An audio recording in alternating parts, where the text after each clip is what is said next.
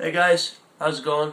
Um, Scott Scott or Scott Robson, as I'm known on YouTube. Um, today I just thought I'd do like a quick little video because I didn't really have much to upload today. Um, over the past few days, it did snow and it was a little bit icy today. Um,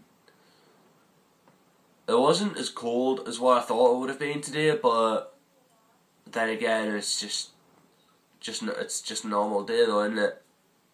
Right, so anyway, what I wanted to cover in this video, and why did I clap my hands? Right, anyway, what I wanted to cover in this video was I can't remember what I wanted to cover in this video actually. Oh wait, hold on. Uh, right, hold on, guys. It should be.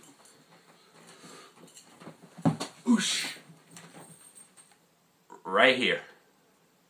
Right, um, so this little thing is well, it's kind of like a phone case or an MP3 case, but I think it's like a little, like a little credit card case or something.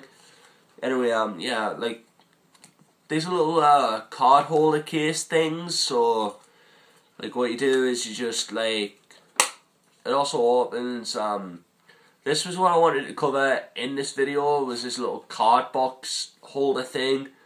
Um, these come in like many different colors. Um, I picked one up today just so like to do a video with it and hopefully see if that can actually increase or decrease storage solutions. Let me know what you think in the comments below and I, I, I promise you this is not a detonator of any kind. It is in fact actually just a credit card case. That's all it is. It's just a credit card case. It's not a phone case. It's not I don't know. It's not any of that stuff. I mean, this isn't exactly going to set off a bomb or stop communications or stuff. Wait, why am I rambling? Why am I rambling on about stopping communications and stuff? I play far too much Battlefield or Call of Duty, whichever one. I think it's Call of Duty. No, I think it's Battlefield. I think it's both. Yeah, it's probably both. So anyway, anything you've just heard about me, like going on about setting off bombs or um, stopping enemy communications. That's like Call of Duty and like Battlefield related. Yeah, they're really good games. I recommend that you play them. Alright guys, so I'm gonna leave this little video here. Um these are actually pretty good.